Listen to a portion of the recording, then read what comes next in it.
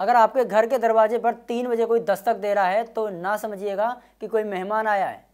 तो हो सकता है दक्षिण हरियाणा विद्युत प्रसारण निगम के होनहार कर्मचारी भी बिजली चोरी पकड़ने आपके घर आ सकते हैं। जी हाँ ये हम नहीं कह रहे। रेवाड़ी के कृष्णानगर में रहने वाले एक परिवार का आरोप है कि बिजली निगम के कर्मचारियों ने रात के तीन बजे उनके घर पर दरवाज़ा खटखटाया।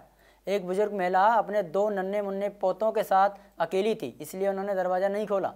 जिस पर बिजली चोरी का मामला बना दिया गया है अब जाँच का जुम्मा पुलिस विभाग पर है। अब देखना होगा कि इस मामले में पुलिस विभाग क्या संज्ञान लेती है। जी मैं शाम को धारवाड़ा होटल पे चला गया था। जी। और रिश्तेदार की कुछ तबीयत खराब थी।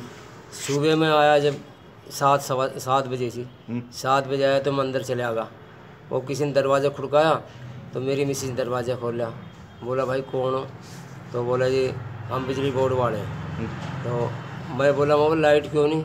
बोले लाइट तो पता नहीं देखती पड़ोस में आ रही कि ना आ रही है। तो पड़ोस में सब जगह लाइट आ रही थी। तो देखे मको ये मीटर भी उखड़ रहा है मको ये मीटर भी नहीं है।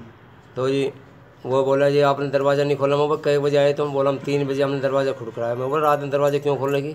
अकेली मेरी मिसिस थी दो मेरा पोता था। मेरी बोड़िया दोनों गाँव जा रही थी। तो उन्होंने कहा ये कर देंगे वो कर देंगे लेना देना कर लो कुछ नहीं फलाना कर देंगे टिकड़ा कर देंगे। मैं बोला हम लेना देना हमने कोई चोरी थोड़ी कर रखी है? वो बोला हमने आपका मीटर तार लिया फलाना हमने वो वीडियो बना ली। मैं बोला वीडियो तुम इन तारों की सारे बना लो। हमारे तार को लग रहा था क्या नहीं लग रहा था? बोला हमें तार से मतलब नहीं है फलाना नहीं है।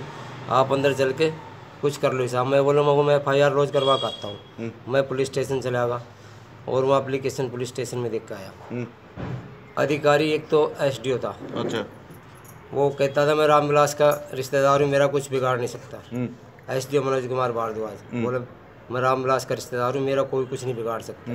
दूसरा एक जई था उसका नाम परवीन परवीन बता रहे थे। लंबा सा थोड़े सावणे से कलर का।